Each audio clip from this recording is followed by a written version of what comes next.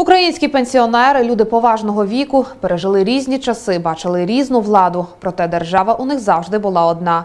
У день прапора громадські активісти завітали до Чернівецького геріатричного пенсіонату, аби передати старшому поколінню ліки та подарунки, а також почути про незалежність нашої країни з перших вуст.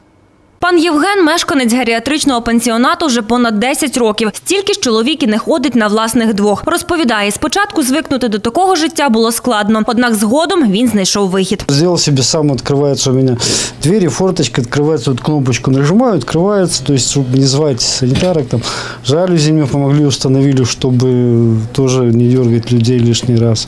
Интернет ребята помогли, друзья, подключить, Под- подарили электроскутер, вот, езжу по всему городу, Таких, як пан Євген, у пенсіонаті півтори сотні. У кожного за плечима своя історія життя, у кожного власний досвід. Та найгірше зітхає пан Євген, що розповісти та поділитись багажем знань інколи просто немає з ким. Общения людям не хватает. Родственники вот мало к людям приходят, вот почему-то забывают, редко. Мешканці лікувального закладу вже давно навчилися радіти простим речам. Вчора у нас таке саме велике свято було, яке є. Перший раз за 21 рік в пансіонат дали центральну воду чисту.